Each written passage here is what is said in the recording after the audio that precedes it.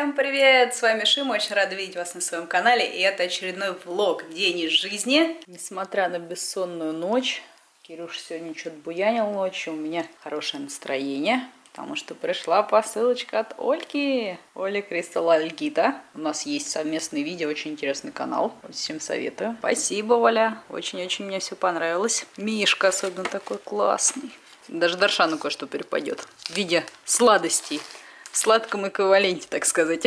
Вот так с утра Олька мне подняла настроение. Села я записать пару видео для вас. Наконец-таки у меня есть на это время. Наша зебра всегда здесь. Стоит софтбокс, один только поставила. На фоне у меня уже моя любимая елочка. Камином на самом деле фона особо никакого никогда не делала, потому что нет на это времени. Где села, упала на стул, там и снимаю. День мой уже в разгаре. Утро все монтировала, делала новую шапку для канала, там мне уже надоело. Как вам вообще новая шапка? Нравится, не нравится? Немножко изменила. Я не люблю, когда нагруженный, поэтому хотелось попроще. Может быть, даже, не знаю, вот этот логотип уберу или оставлю, не знаю, в общем. Но он во всех моих видео, как мой значок, поэтому, может быть, все-таки оставлю. Решила себя с волосищами сделать. И в таких красных тонах. Вы знаете, что у меня любимый цвет красный, поэтому решила в них. И новая аватарка. Как вам аватарка? Я ее также сделала и в Инстаграм, и в Перископе. В общем, говорите свое мнение. Утром также успела уже смонтировать я видео новое для арт-канала то меня там уже замучили, что я ничего давно не увешивала. Хотя недавно, вот неделю назад вывесила урок «Как рисовать ухо». И сегодня смонтировала, вывесила поздравления для зрителей арт-канала. Новогодний рисунок Санты. Открытку. На самом деле это можно также рисовать, как нарисовать Дед Мороза, потому что Санта с Дед Морозом отличаются визуально. Только тем, что Дед Мороз синим, Санта в красном. А так они визуально ничем не отличаются особо. Ну и снежинки можно Дед Мороза нарисовать на костюме, обычно у него снежинки. В общем, вот так вот сейчас покажу вкратце, что за видео. Также в Инстаграм вывесила уже.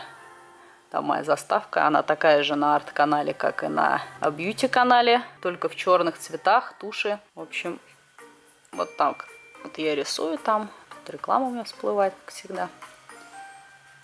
Кому интересно, заглядывайте, э, посмотрите. В общем, вся уже в предновогоднем настроении, уже даже открытку выложила на YouTube. Сейчас буду снимать, наверное, новый урок по соусу. Уже поставила софтбокс. Сейчас буду ставить столы, пока мама гуляет. Несмотря на то, что я заболела, на самом деле. У меня муж приехал из Индии, всех заразил, и ребенка, и меня.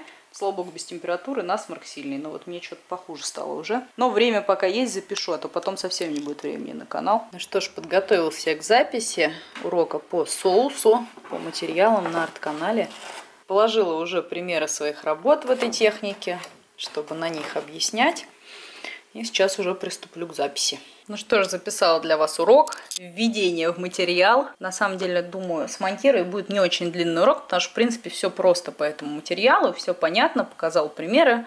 Кому интересно, тот зайдет, посмотрит на арт-канале, если кто-то увлекается именно живописью, рисунком. Это уже такой более профессиональный материал, но очень простой, то есть с него можно начать вообще рисовать графику.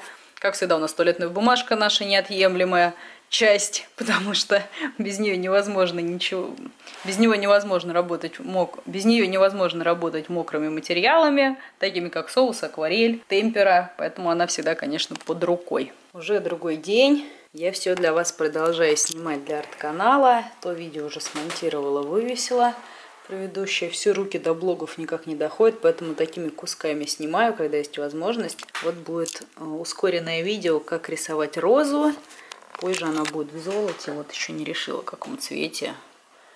Такой меди или таким средне-золотым. Не знаю, обычно я люблю бронзовый такой зеленый оттенок золота. Сейчас хочу попробовать какое-то розовое золото.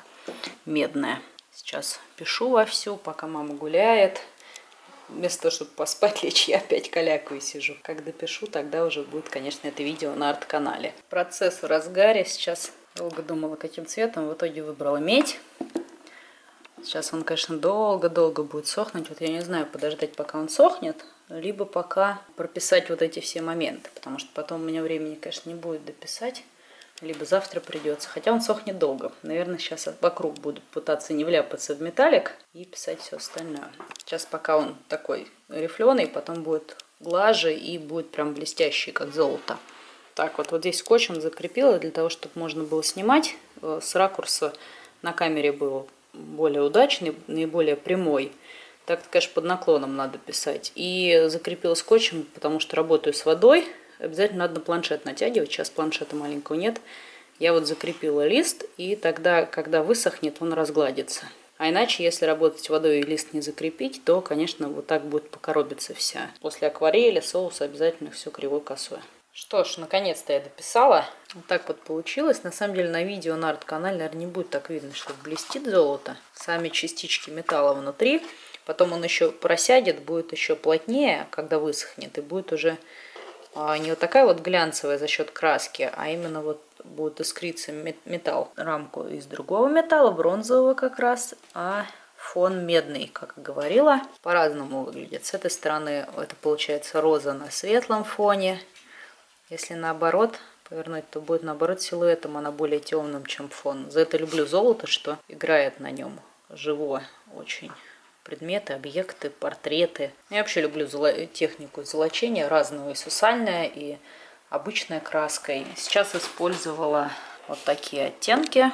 Я покупала в Москве в салоне на чистых прудах. Раньше там был триколор. Сейчас это красный карандаш. Что ж, буду сейчас закругляться. Надо все это разобрать эти все софтбоксы, камеры. Потому что сейчас уже мама придет с ребенком, и мне, конечно, будет не до этого. Эльза тут сидит в темноте, послушно, пока я работаю. Вот вам на прощание оленя покажу, маленького.